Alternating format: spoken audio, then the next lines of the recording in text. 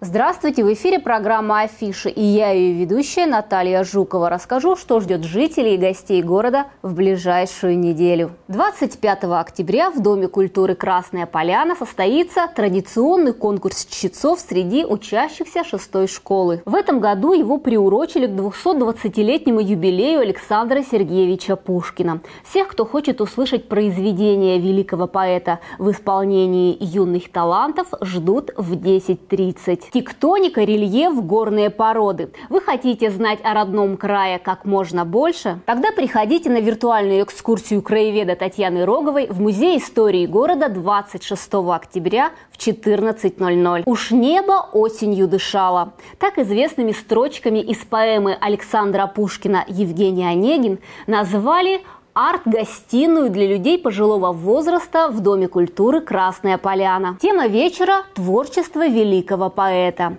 Начало 26 октября в 16 часов. Маленьких театралов 27 октября в 12.00 ждут в театре «Куклы и люди». Для них сыграют сказку «Дюймовочка» по мотивам произведения Ганса Христиана Андерсона. За окнами октябрь, а значит самое время для лобнинской осени, традиционного творчества творческого вечера Елены Федоровой, члена Союза писателей России. Как всегда, помимо хозяйки вечера в программе участвуют городские творческие коллективы, певцы, композиторы, танцоры. Всех желающих ждут в концертном зале Школы искусств 27 октября в 14.00. Жителей и гостей города приглашают на творческий вечер, посвященный 15-летию создания клуба «Тем, кому за 40». Несмотря на возраст, его участники по по-прежнему активны и молоды душой. Хотите убедиться? Приходите 27 октября в Дом культуры «Красная Поляна» в 14 часов. А в 18.00 вас ждут в театре «Камерная сцена».